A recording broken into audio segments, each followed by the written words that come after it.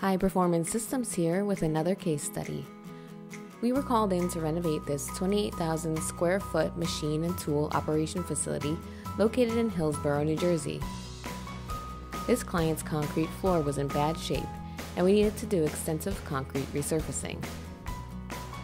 We started by eliminating any major voids and rough areas that might cause damage to forklifts or worse, harm an employee.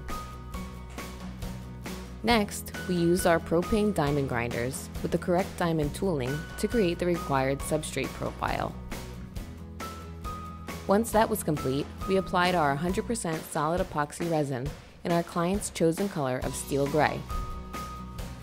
Finally, we applied our urethane top coat in the same color, which will ensure that this flooring system maintains its color and sheen for a very long time. For your next grind and seal flooring project, contact us at High Performance Systems. We would love to create the epoxy flooring system of your dreams, so call us today